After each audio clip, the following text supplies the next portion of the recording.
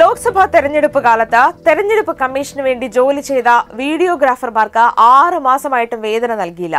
കണ്ണൂരിൽ മാത്രം അഞ്ഞൂറോളം പേർക്കായി ഒരു കോടിയിലധികം രൂപയാണ് കൊടുക്കാനുള്ളത്. കൈ നീട്ടി മടുത്തതോടെ വീഡിയോഗ്രാഫർമാർ സമരം തുടങ്ങി. വിഷു ദിവസം കൂടി ജോലി ചെയ്തതാണ്. കണി വെക്കുന്ന ദിവസം കൂടി നമ്മൾ കണി വെക്ക അന്ന് നൈറ്റ് ഡ്യൂട്ടി ആയിരുന്നു. കണിയും കൂടി ഇല്ലാതെ അന്ന് ജോലി ചെയ്തത്. ഇതുവരെ ഇതുവരെയായിട്ട് അതിന്റെ കൂലി കിട്ടിയിട്ടില്ല. വിഷുവിന് ജോലി ചെയ്തു. വിഷു കഴിഞ്ഞു. ഓണം കഴിഞ്ഞ്. ഓണത്തിനെങ്കിലും കിട്ടുമെന്ന് വിചാരിച്ചാന്ന്. അതും ഉണ്ടായിട്ടില്ല. ഒരു മാസത്തിലധികം തെരഞ്ഞെടുപ്പ് കമ്മീഷന് വേണ്ടി പണിയെടുത്തവർ ജില്ലാ ഭരണകൂടം കരാർ അടിസ്ഥാനത്തിൽ ദിവസക്കൂലിക്ക് വിളിച്ചു വരുത്തിയവർ അവരാണ് സമരമിരിക്കുന്നത്. ഏകദേശം ഏഴായിരത്തി അമ്പത്തി ആറോളം തൊഴിൽ ദിനങ്ങൾ ഉണ്ടായിട്ടുണ്ട്. അതിൽ രാത്രിയെന്നോ പകലെന്നോ വ്യത്യാസമില്ല. തൊഴിലെടുത്ത പൈസയാണ് ഞങ്ങൾ ചോദിക്കുന്നത്. കാരണം ഇത്രയും ദിവസം തൊഴിൽ ചെയ്യുമ്പോൾ നമ്മുടെ യാത്ര അതുപോലെ തന്നെ ഭക്ഷണം ഉൾപ്പെടെ നമ്മളെ സ്വന്തം പോക്കറ്റിൽ നിന്നാണ് ചെലവഴിക്കുന്നത്. അതിന് വേറെ അനുവാദനം ഒന്നുമില്ല.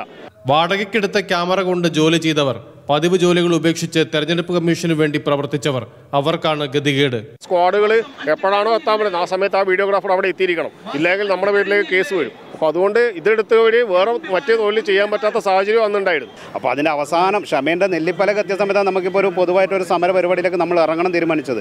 കണ്ണൂരിൽ മാത്രം ജോലി ചെയ്ത അഞ്ഞൂറോളം പേർക്കായി ഒരു കോടി എൺപത് ലക്ഷം രൂപയോളമാണ് വേതനം നൽകാനുള്ളത്. ധനവകുപ്പിലേക്ക് ഫയൽ അയച്ചിട്ടുണ്ടെന്നാണ് ജില്ലാ ഭരണകൂടത്തിന്റെ മറുപടി. ഇനി എത്ര കാത്തിരിപ്പെന്നറിയില്ല. കാരണം നമ്മുടെ കൂട്ടത്തിലുള്ള മൂന്ന് നാല് പേര് ഈ ജോലി ചെയ്തവർ മരിച്ചു പോയിട്ടുണ്ട്.